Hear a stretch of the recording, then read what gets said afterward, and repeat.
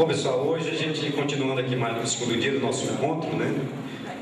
É, no momento eu considero mais light, já que hoje teve uma palestra é, do professor Cláudio e da professora Lucília de, de cunho mais técnico, né? Hoje a gente está trabalhando mais as relações, né? Relações que são muito importantes é, em todas as instituições e principalmente numa, numa casa de educação.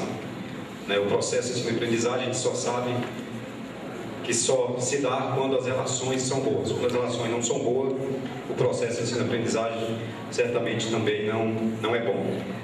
Então a gente convidou aqui o professor Luiz Quetini Filho. O professor Luiz Quetini Filho, ele é pernambucano, de Garanhuns, teve sua formação escolar e acadêmica no Rio de Janeiro, e graduou-se em Teologia, iniciou seus estudos em Psicologia, concluindo-os concluindo na cidade de Recife, na capital pernambucana. Graduou-se também em Filosofia Desenvolve sua atividade profissional nos últimos 35 anos em psicologia clínica, especialmente na área de psicoterapia de crianças e adolescentes. Nesse período, paralelamente, tem se dedicado ao ensino da psicologia em várias universidades e faculdades do estado de Pernambuco, atuando nas áreas de psicologia geral, psicologia, psicologia da aprendizagem e psicologia do desenvolvimento. De 1976 a 1998, lecionou no Departamento de Educação da Universidade Federal Rural de Pernambuco. Em psicologia clínica, dedica-se também ao acompanhamento psicoterápico de pais e filhos adotivos, desenvolvendo estudos e pesquisas sobre a psicologia da criança adotada, que tem resultado em vários livros já editados. Seu trabalho também se desenvolve através, por meio de palestras, conferências e cursos ministrados no país e no exterior.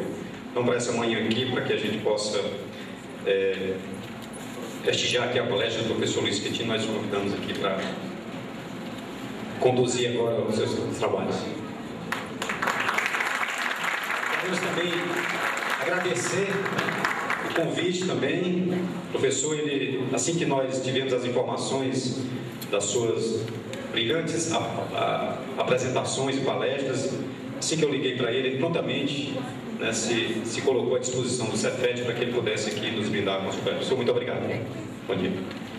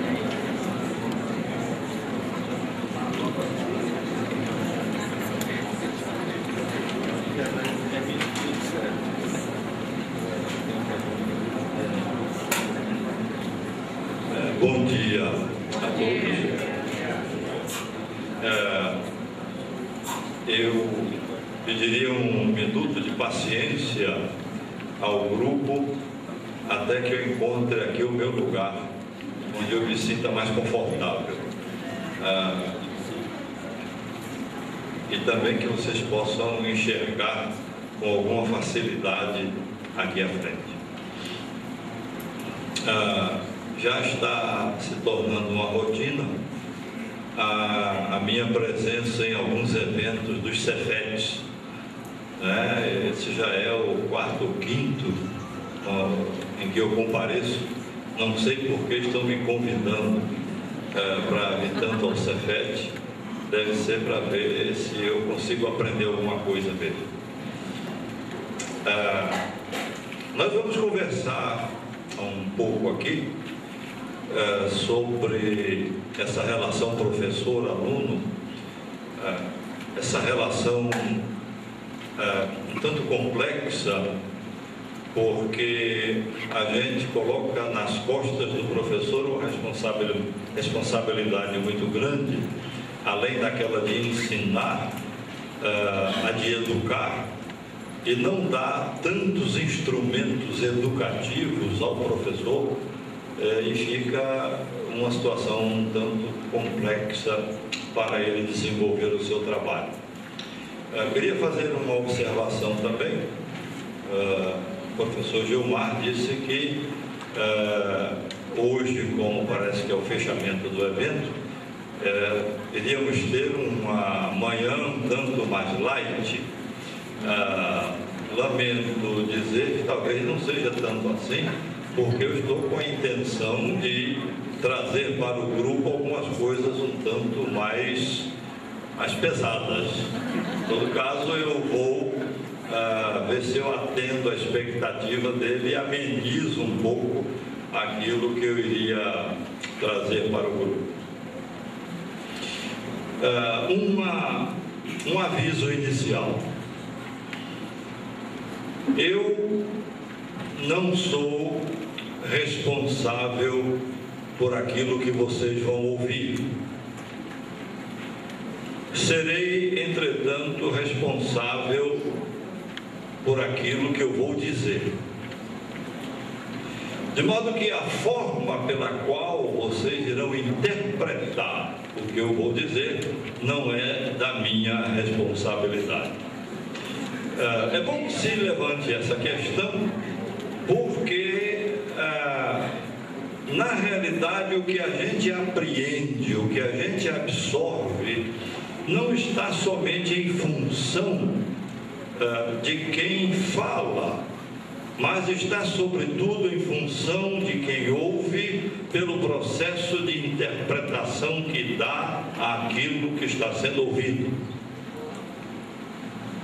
Então, feita essa observação, ah, vamos começar a conversar ah, devagar. Nós temos um, um tempo razoável aqui ah, sobre essas questões da relação entre professor e aluno.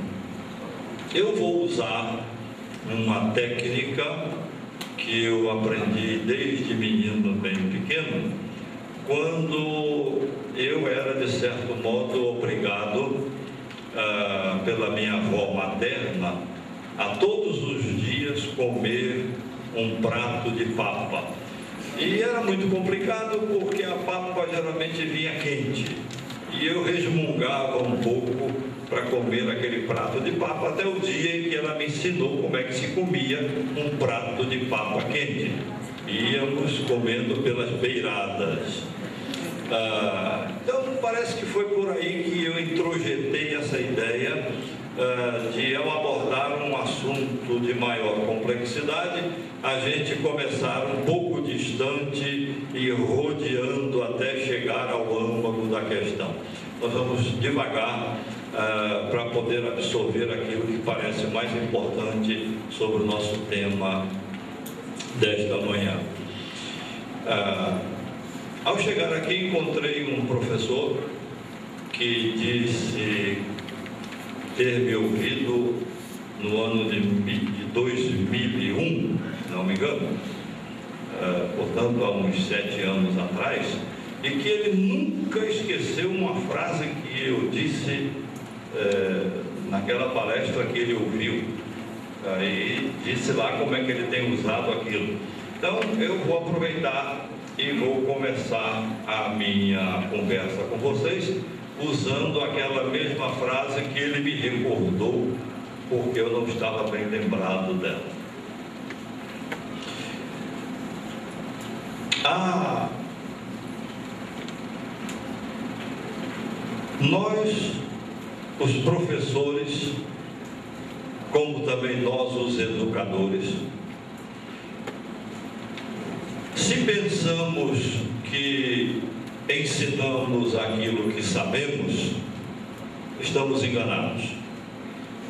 Na realidade, nós não ensinamos o que sabemos, nós ensinamos aquilo que somos.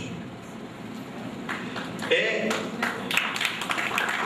aquilo que faz parte da nossa estrutura de personalidade que passa em primeiro lugar para o outro que é objeto do nosso processo educativo.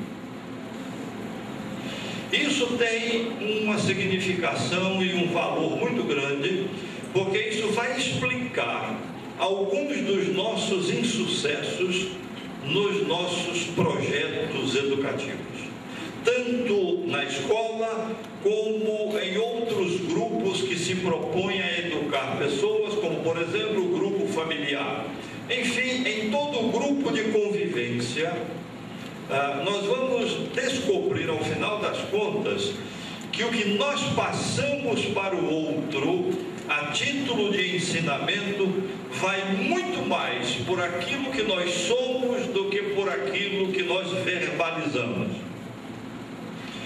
Ah, não sei por que nós aprendemos que ensinar seria principalmente verbalizar o ensino. Isso não é verdade. Muito pouco as pessoas absorvem de nós o ensino verbalizado, sobretudo quando ele não vem vinculado a esse outro lado do ensinar e do educar, que é a expressão do ensino através do nosso comportamento pessoal. Nós ensinamos, na realidade, aquilo que somos. E aí eu queria levantar uh, três aspectos desse processo.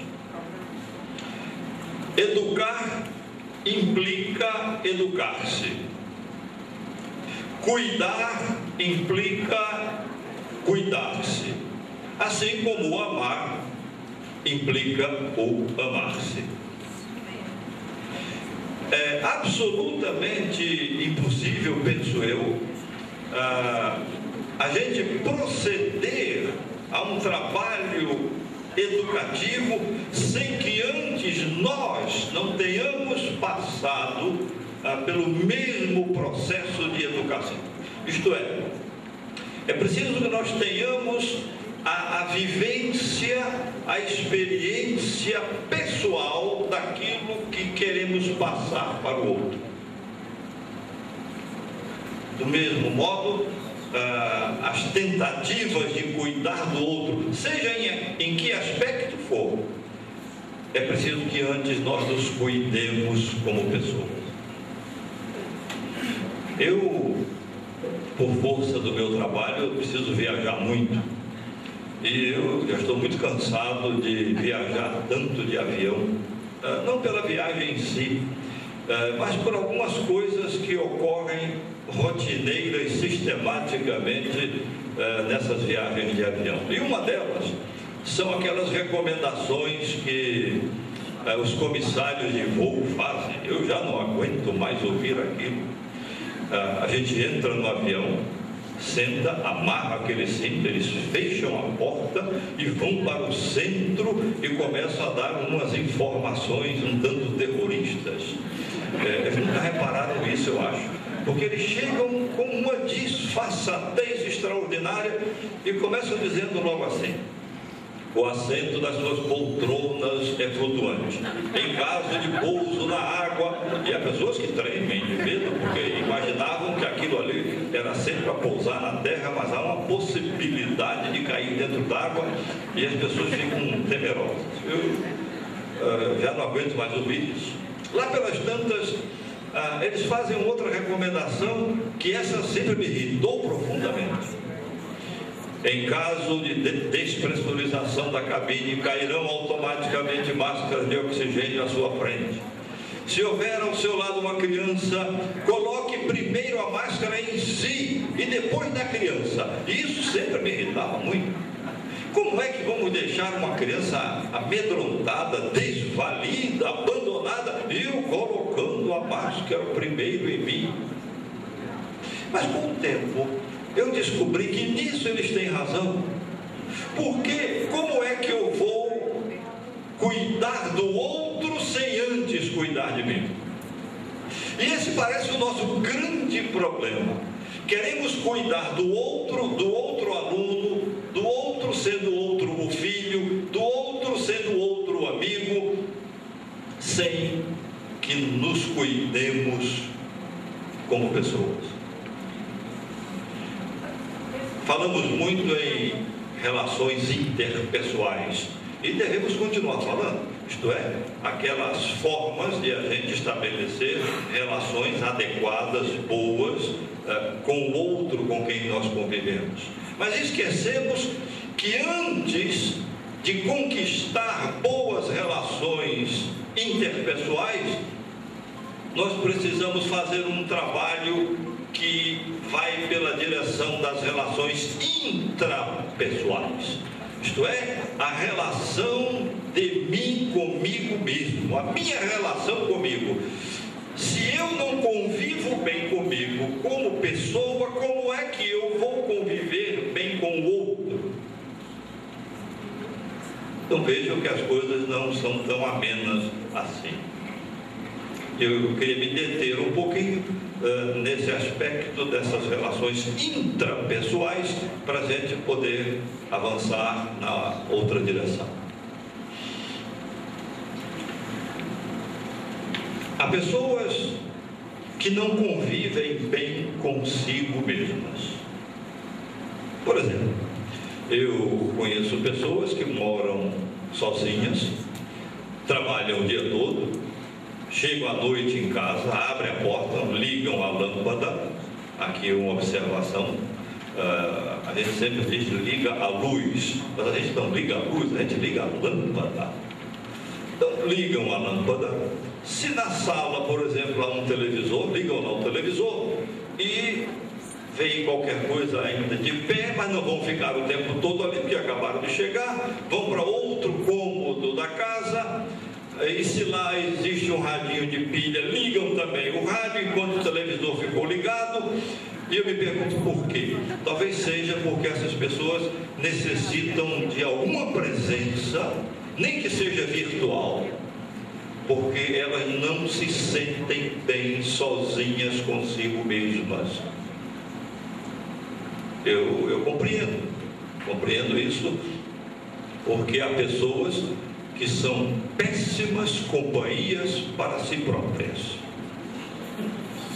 Como é que elas querem ser boas companhias para as outras pessoas?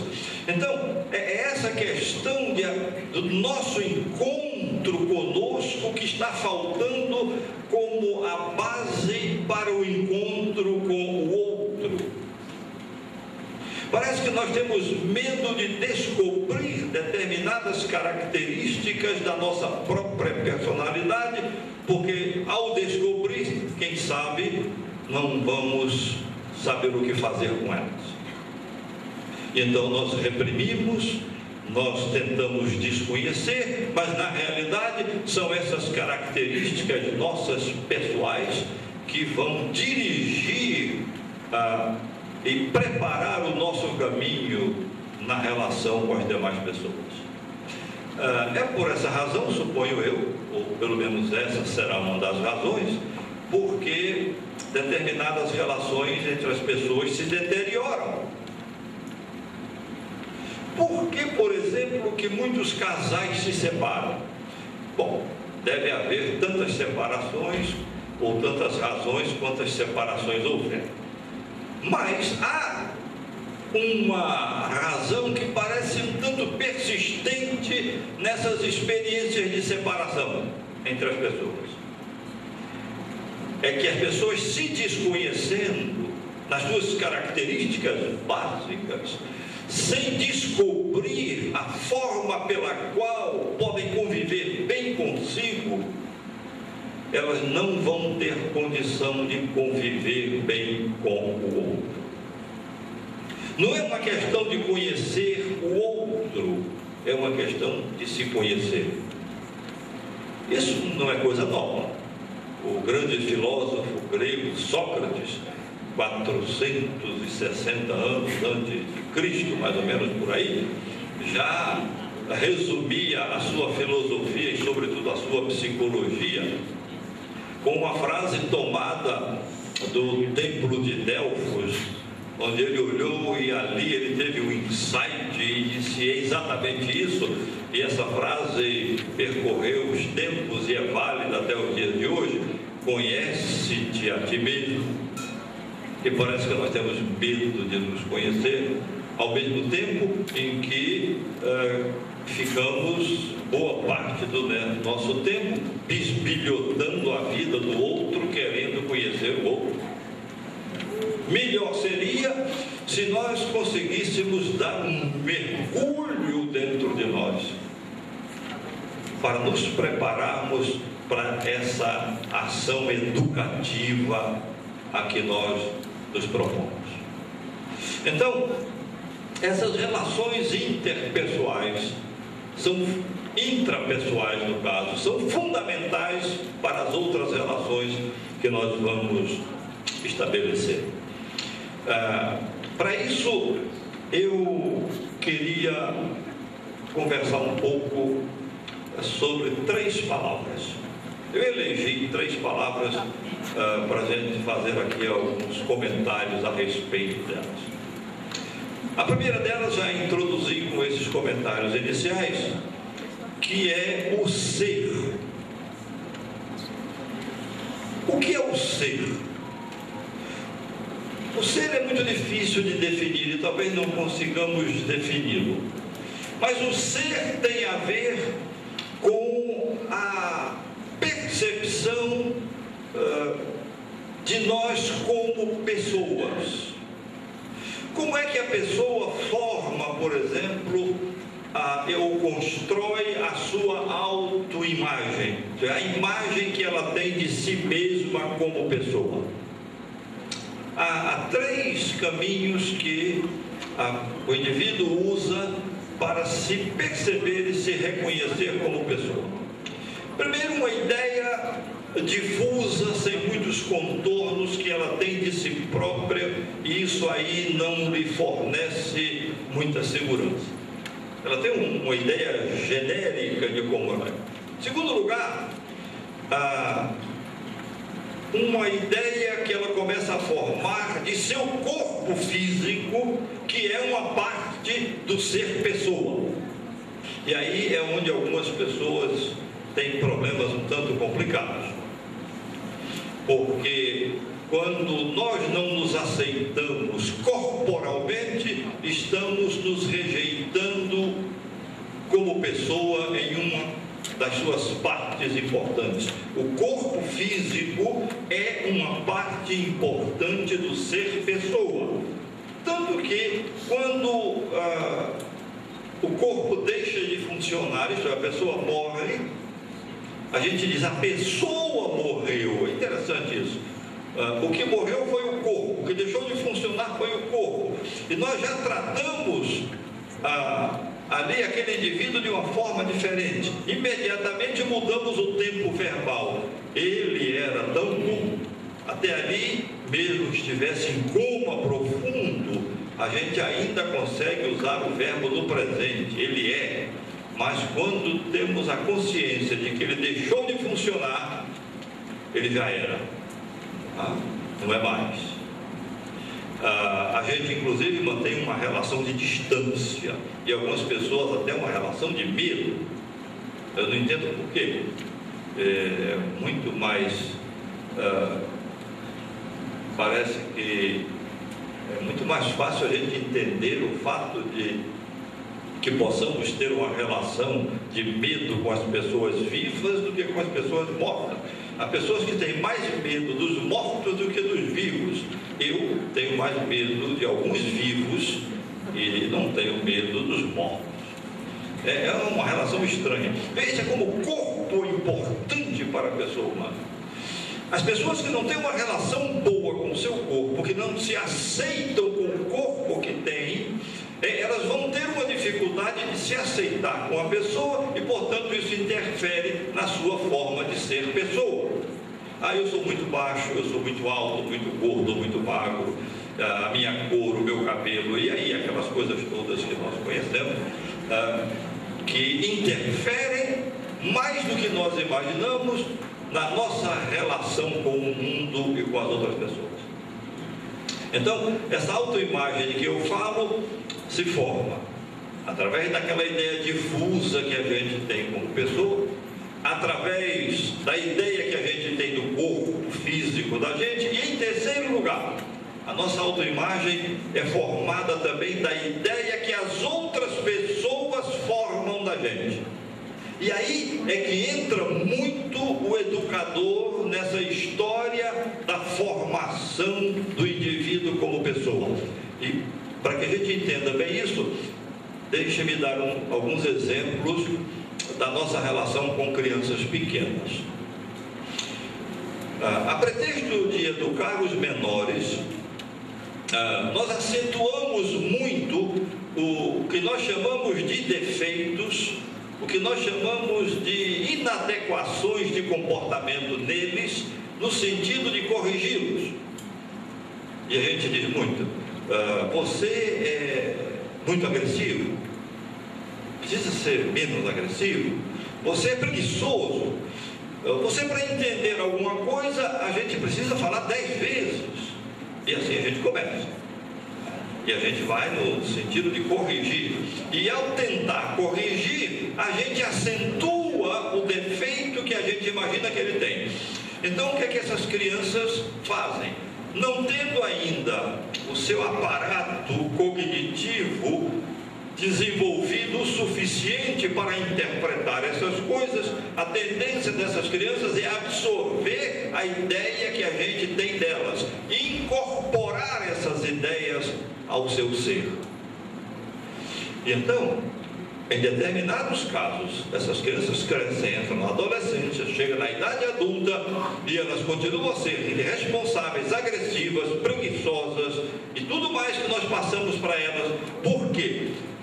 não só pela insistência que nós tivemos em passar isso para elas, mas porque isso foi passado para elas por figuras de autoridade para elas, autoridade afetiva e autoridade de toda ordem. Assim,